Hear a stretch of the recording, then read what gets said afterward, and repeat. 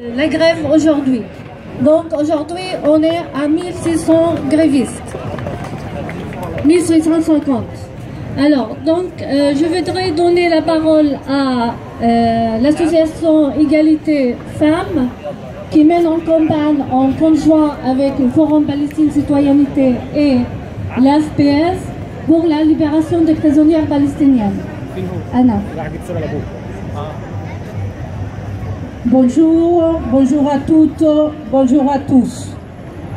Nous voulons commencer par exprimer notre soutien total aux prisonnières et prisonniers politiques palestiniens en grève. La répression massive des Palestiniens dans les territoires occupés, parce qu'il faut dire qu'elle est massive. Il n'y a pas une famille qui n'a pas en prison un des leurs. Cette répression massive vise à briser la volonté de résistance de tout un peuple qui se voit dépossédé de ses terres, qui est privé du droit à avoir un État et à vivre en liberté.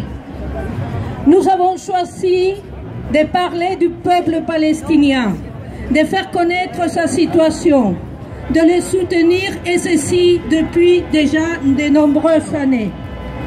Tout dernièrement, nous avons pris la décision d'apporter notre soutien aux prisonnières politiques palestiniennes qui en Cisjordanie et en Israël même sont mises derrière les barreaux des prisons israéliennes pour avoir exprimé leur aspiration à vivre libre et en paix. Elles sont nombreuses dans les prisons israéliennes. Aujourd'hui, elles sont 72. Mais il faut savoir que 15 000 Palestiniennes ont déjà fait un séjour dans les prisons israéliennes. Leurs conditions de détention ne sont pas meilleures que celles des hommes. Elles sont aussi placées dans des cellules surpeuplées. Elles sont aussi privées, elles manquent de nourriture correcte. Elles manquent de vêtements chauds, des soins. Elles sont aussi soumises à des interrogatoires brutaux, des coups, des insultes, des menaces, harcèlement sexuel, humiliation.